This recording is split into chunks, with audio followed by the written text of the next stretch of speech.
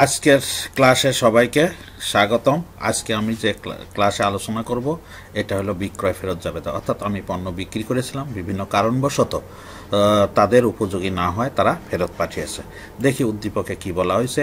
মেসার শিকদার ট্রেডার্সের দুই সালে জুলাই মাসে ধারে বিক্রয়কৃত লেনদেনগুলি নিম্নরূপ ছিল। জুলাই এক বেলায়তায়ন কংয়ের নিকট হতে বিকৃত পণ্য ত্রুটিপূর্ণ হয়। দশ হাজার টাকার পণ্য ফেরত পাওয়া গেল। কারবারি ব্যাটটা দশ পার্সেন্ট পাওনাশিটা নং পঁচানব্বই। অর্থাৎ যে কাগজের মাধ্যমে যে দাখিলার মাধ্যমে আমাদের কাছে পণ্য ফেরত পাঠায়, সেই দাখিলাটাকে বলা হয়, যে চিঠিটাকে বলা হয় পাওনা চিঠি। এবং এখানে ত্রুটিপূর্ণ হয়েছে পণ্য, এই কারণে দশ হাজার টাকার পণ্য তারা ফেরত দিছে। ফলে তাদের কাছে আমরা যে টাকা পাওনা ছিলাম, তার থেকে দশ হাজার টাকা কারবারি বারটা বাদ দেওয়ার পরে যে টাকা থাকবে, সেই টাকার পরিমাণ দেনা তাদের কমে গেল। অর্থাৎ আমাদের পাওনা টাকার থেকে এই পরিমাণ টাকা কমে যাবে।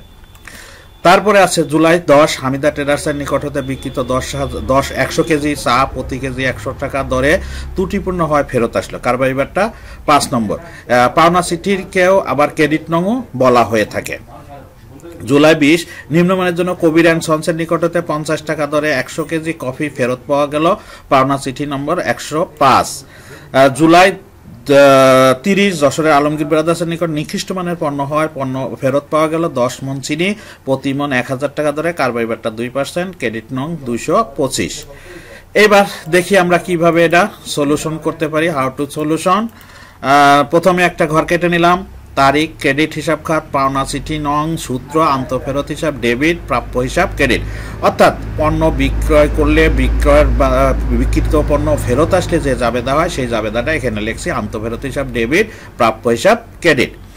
দু হাজার ষোলো সাল জুলাই এক বেলায়তান কং, পণ্যটা ফেরত দেশে তার পাওনা চিঠি নং ছিল পঁচানব্বই। কি মাল এবং কত টাকার পণ্য ফেরত দিয়েছে দেখি। জুলাই এক তারিখে দশ হাজার টাকার পণ্য ফেরত দিছে, যেটা নাকি কারবারি ইয়া, কারবারি বারটা আছে, দশ পার্সেন্ট, তাতে হয় এক হাজার টাকা। তাহলে দশ হাজার টাকা তালিকা মূল্য থেকে এক হাজার টাকা কম, তাহলে বাদ দিলে থাকে হলো নয় হাজার টাকা। এই নয় হাজার টাকার পণ্য আমি ফেরত পাইছি, অর্থাৎ আন্ত ফেরত বহিতে আমি নয় হাজার টাকা লিপিবদ্ধ করব। এরপরে জুলাই দশ, হালিমা ট্রেডার্স, পাওনা চিঠি, নং একশো পাঁচ, সে কি কি ফেরত দিছে?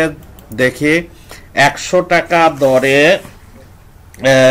একশো কেজি একশো কেজি চা প্রতি কেজি একশো টাকা করে প্রতি কেজি একশো টাকা দরে একশো কেজি চা ফেরত দিয়েছে, তাতে মূল মূল মূল্য আছে দশ হাজার। এর উপরে কারবারি বারটা আছে, পাঁচ পার্সেন্ট, তাতে আসে পাঁচশো টাকা। তাহলে তালিকা মূল্য ছিল হলো দশ হাজার, এর থেকে পাঁচশো টাকা কারবারি বারটা বাদ যাওয়ার পরে সে টোটাল নয় হাজার পাঁচশো টাকার পণ্য ফেরত দিয়েছে। তাহলে আন্ত ফেরত বইতে আমি লিখব নয় হাজার পাঁচশো টাকা। এরপরে জুলাই বিশ কবির অ্যান্ড সন্স পাওনা চিঠি একশো পঞ্চাশ। সে ফেরত দিছে কি? পঞ্চাশ টাকা দরে একশো কেজি কফি ফেরত দিছে। প্রতি কেজির দাম পঞ্চাশ টাকা, এতে হলো একশো কেজি, তাতে টাকা আসে পাঁচ হাজার। এই পাঁচ হাজার টাকাই পণ্য এখানে কোনো কারবারি বারটা নাই। এই জন্য এই পাঁচ হাজার টাকায় আমি আন্তঃফেরত হিসাব বইতে লিখব। তারপরে জুলাই তিরিশ, আলমগীর ট্রেডার্স, তার পাওনা চিঠি নম্বর হলো দুইশো পঁচিশ, সে কি ফেরত দিছে?